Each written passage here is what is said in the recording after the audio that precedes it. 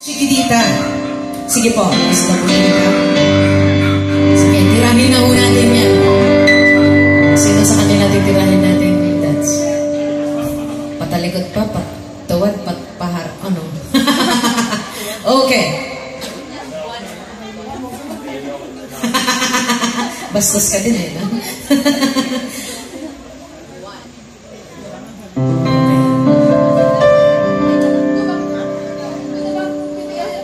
Yes.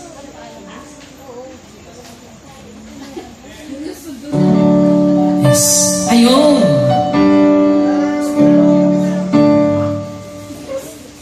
Ay, may mga bata pala. Nako. Oo.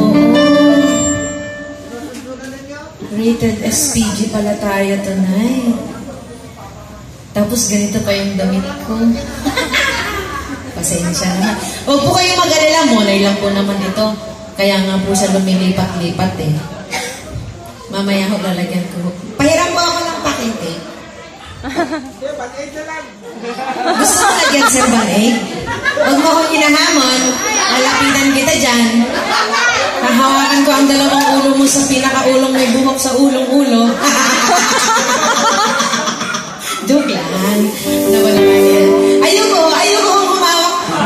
Century egg. Habilin mo yan ng tatay ko dati. Huwag kang hahawak ng century egg. Sabi niya. Sa sobrang tagal nangungulubot. anyway, I'd like to give you a first requested song here. Something from Juan Carlos. Salamat mo ng marami. Sobrang na-appreciate ko po yung pag-aantay ninyo. Salamat po.